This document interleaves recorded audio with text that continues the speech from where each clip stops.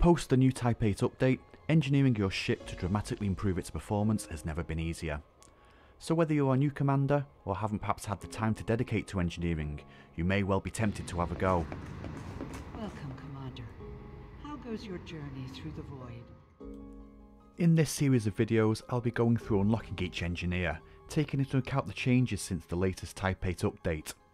Engineering your ships and weapons has now become much less time consuming, allowing those commanders with limited time to play the game the chance to bulk up their arsenal.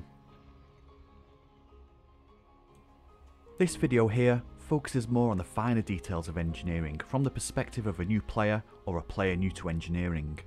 The aim is to help you understand what is required as well as give you some ideas on how to gather the materials required.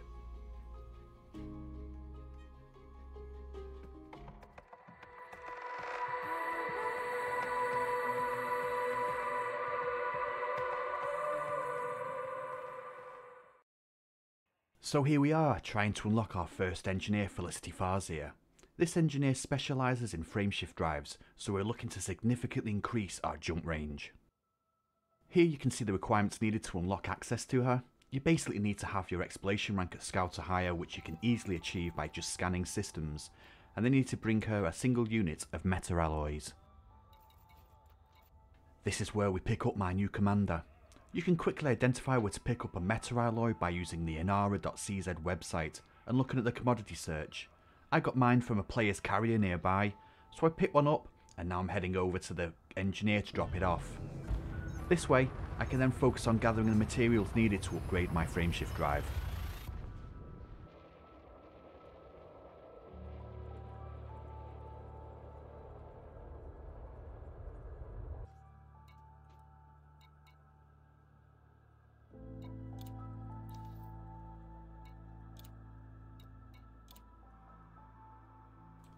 Next, we need to generate our shopping list of the materials we will need to hand over to Felicity, in exchange for engineering our frameshift drive. For this, I use the ED Engineer application.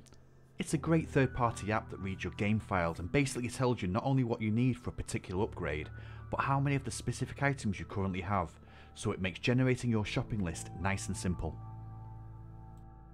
Here is where I make my first mistake however, with full grade 5 access to the engineer, you will require one roll of grade 1 to complete a grade 1 upgrade, then 2 rolls of grade 2 to complete a grade 2, and so on, up to 5 rolls of grade 5 to complete the upgrade.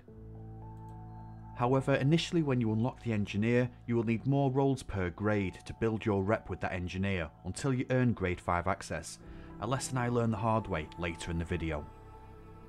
The good news is that this only happens after initially unlocking the engineer, and once you have grade 5 access you can rely on the one roll needed for a grade 1 upgrade, 2 for grade 2 etc for any future upgrades. Now assuming you have grade 5 access to an engineer, this will be your shopping list for the increased jump range modification with mass manager special effect. This will give you the maximum upgrade on your jump range, as you can see I have next to no materials so I'll need to head out into the black to get them.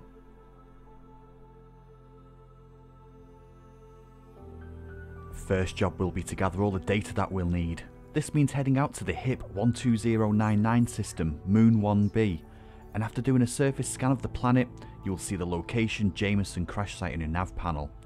I'm going to head there now and get into my SRV.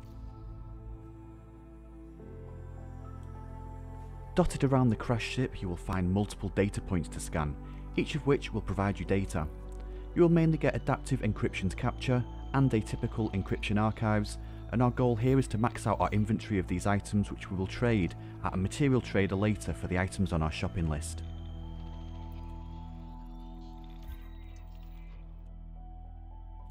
This used to be quite time consuming, but with the recent changes in the Type 8 update, this took me no longer than 10 minutes to do.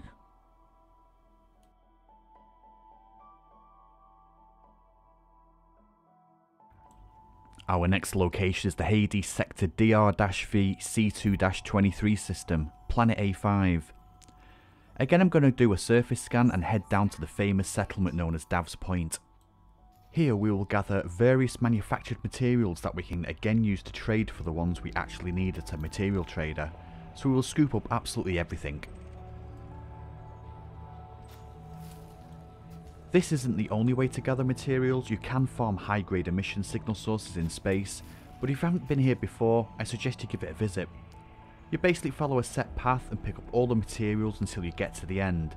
You then have the option of relogging back into the game to respawn some more random materials and run another lap.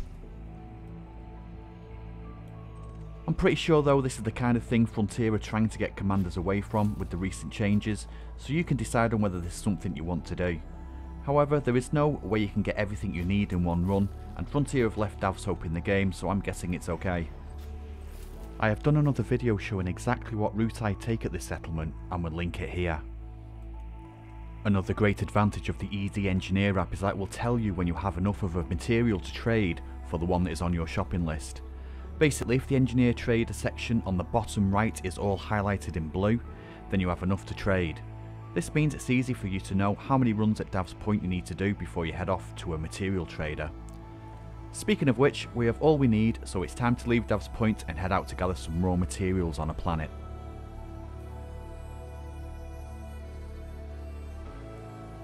First we need to figure out which planet we are going to.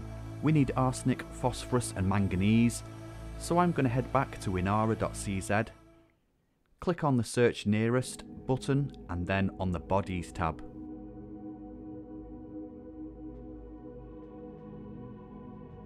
In here I'm going to add these raw materials in the materials present box and click on search.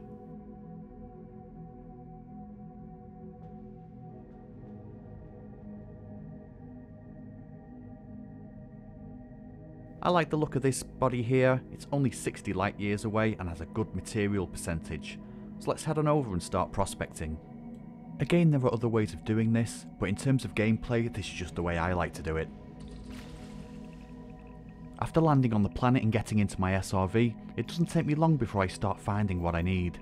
I'm not sure if the spawn rates have increased since the Type 8 update, but I can tell you I found what I needed pretty quickly. A little over 10 minutes later, and I have everything I need. Back to ED Engineer, and as you can see I have all the raw materials I need, and I have the necessary materials to trade for everything else on my list. I use inara.cz to find the nearest material traders. Again, I go to search nearest, then under station services I'm looking for material trader, then simply input the system you're in and click search.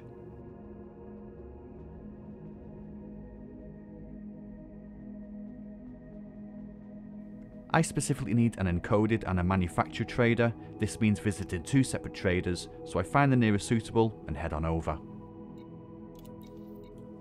Here I trade some data for the ones I need on my shopping list.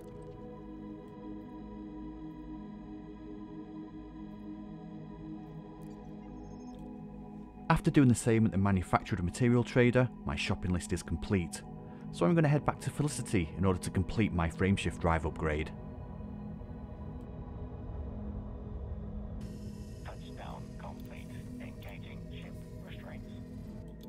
This is the part where I didn't factor in my rep with the engineer. If I had full level 5 access, one roll would have been enough to progress to grade 2, but as you can see, one roll wasn't enough. I've been looking over the internet to see how many rolls in total it would take to, for each grade factoring in earning rep with the engineer, but couldn't find a definitive answer. If you know what it is, please feel free to add to the comments and I will update the video here with the requirements. Now with this particular engineer, as well as rolling engineer mods to gain reputation, you can also sell exploration data.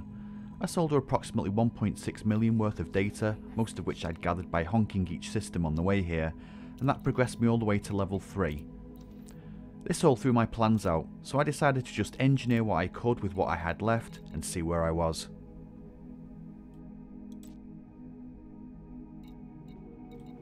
I got to my second roll of grade 3 before I ran out of materials.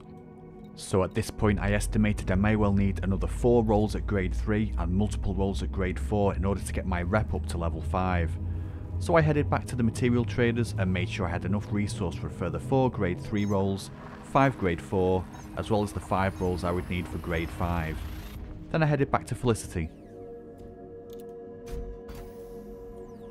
With these additional resources I was able to complete my upgrade. and more importantly, I now have the maximum rep with the engineer, so this won't happen again. My jump range had decreased to 36 light years from 25 before I started, so a significant increase.